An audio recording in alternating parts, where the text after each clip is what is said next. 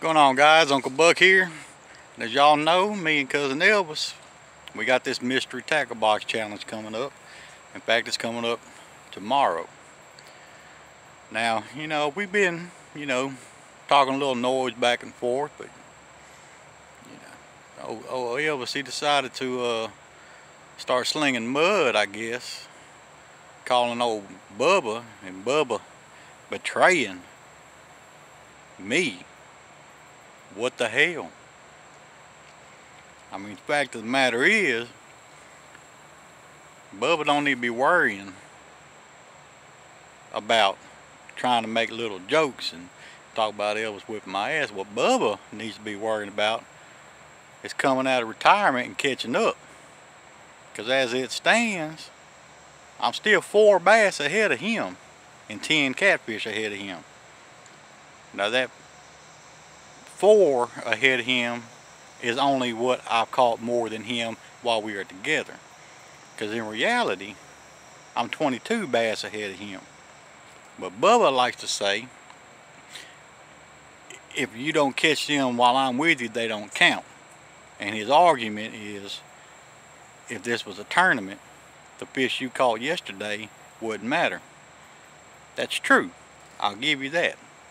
However, if this was a tournament, the rest of the guys that are fishing it don't got to go home just because you didn't get to the damn lake. Now what? And on the subject of old cousin Elvis,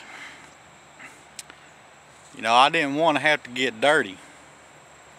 And I really didn't want to have to get ugly. But let's face it.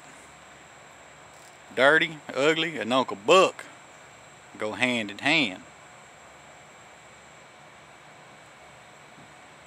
That, that, that ain't what I meant. What I meant was, anyway, you know, it's mighty convenient. OL was getting his little endorsements. But he conveniently left out all the people that couldn't be bought. That's right. I'm about to show y'all a little something. These are the people that Elvis couldn't pay off with his dirty money. Y'all check this out. Team Buck. Yeah, Team Buck. Yeah. Buck. Team Buck. Buck. Uncle Buck. And also, I actually had to get a, a chance to sit down and interview one of the people that voted Team Elvis. Here's what he had to say. Yeah, old Elvis, he paid me $20 to give him a vote. I took my $20 and I went and bought me a Tom Jones CD. Shit. Despicable.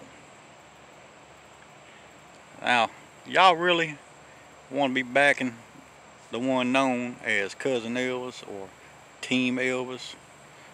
I mean, come on now. I happen to have a, a very reliable source. And matter of fact, I witnessed this once myself. Our cousin Elvis, he likes to go down to the boat launch and pay all these other guys to give them the bass, the bass out of their boat. So he goes live well shopping. And I can guarantee he's going to try to do that tomorrow during this challenge. But old Uncle Buck's to be keeping a close eye on him. I guarantee. Y'all know Cousin Elvis, he lives by three rules. Lie, cheat, and steal. You gotta do whatever he gotta do to get by. You know, I ain't gonna fault the man, but when you're dealing with Uncle Buck, son, you better come correct. Anyway, guys, we talk a lot of crap, you know. It's what we do. I ain't no animosity with uh, amongst any of us really. You know, what's the fun if you don't talk shit? But you know, we have been selling this thing pretty damn good, so hopefully we don't both go out there and get skunked tomorrow. But either way, we're going to be on the lake, we're going to be in the boat, we're going to be fishing, so we're going to have a good time. So y'all stay tuned. We're going to see what happens. We'll see y'all on the Mystery Tackle Box Challenge.